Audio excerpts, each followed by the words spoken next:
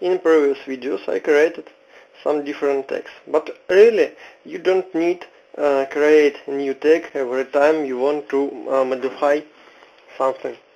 For example now I place two rooms room here and room here.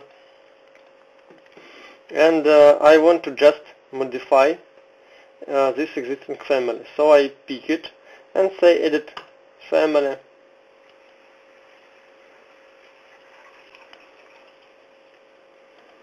and now for example I have different parameters. So uh, number, room name and value and area. So uh, I go to view visibility graphics say show annotation categories. And for example I want to delete these lines.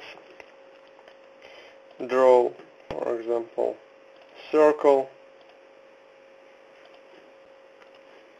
And maybe I want to change text for change font to Tahoma.